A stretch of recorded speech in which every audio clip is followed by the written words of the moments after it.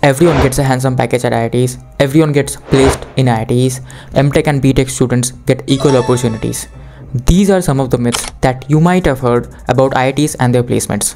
Hello everyone, welcome back to my channel. I'm Anish and today we are going to discuss about why you should not write the GATE examination and the reality of one year packages in IITs. This is a very important topic for all the engineering students who are aspiring to get into the IITs or other prestigious institutes. So let's get started. Myth 1. Everyone gets a handsome package at IITs. This is not true at all. The average package of students studying at IITs is somewhere around 10 lakhs to 15 lakhs per annum, which is not bad but definitely not 1 CR which you see on the headlines of the newspapers. Only a few top students get the highest packages which are mostly offered by the foreign companies or startups. And these packages are not in Indian rupees but in dollars or euros. Hence, they are subjected to currency fluctuations and taxes. Myth 2 Everyone gets placed in IITs. This is not true at all. There are many students who do not get a job or get placed in a low paying job which are not related to their field of study. The placement scenario depends on a lot of factors like the branch, the batch, the market situation, the skills, the resume, and the interview performance.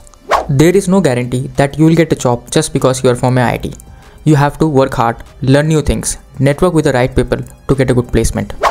Myth 3 MTech and BTech students get equal opportunities in IITs.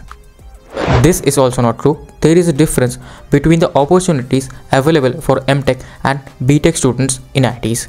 Preference totally depends on the company itself. Few companies prefer BTech students over MTech students. Companies such as Intel, Qualcomm, and other hardware related companies prefer MTech students over BTech students because they have more in depth knowledge and have done industry related projects. So, these are some of the myths that I wanted to clear for you. Now let me tell you the reality of 1 crore package in IITs and the current placement scenario in IITs. There are only a handful of companies that offer such a high package in India. They are mostly HFT firms or high frequency trading firms.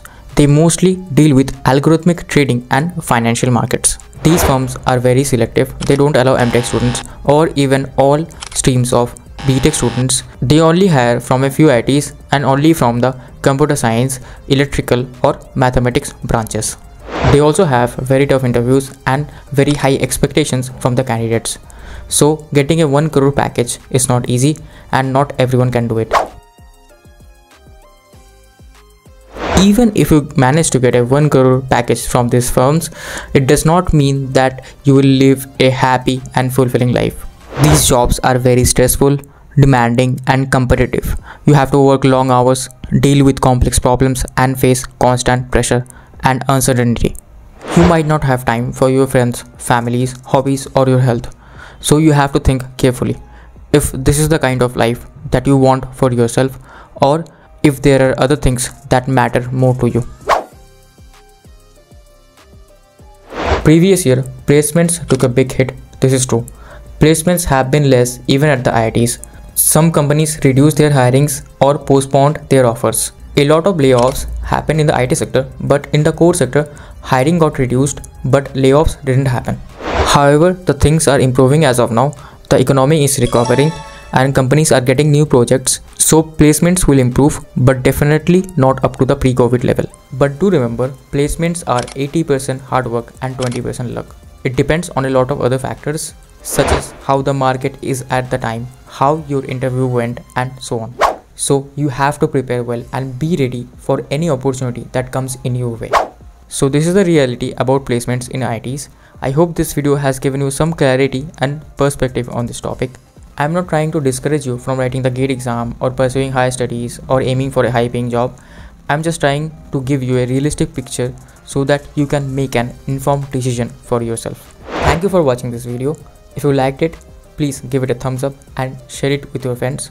If you have any suggestions or questions, please leave them in the comments section below.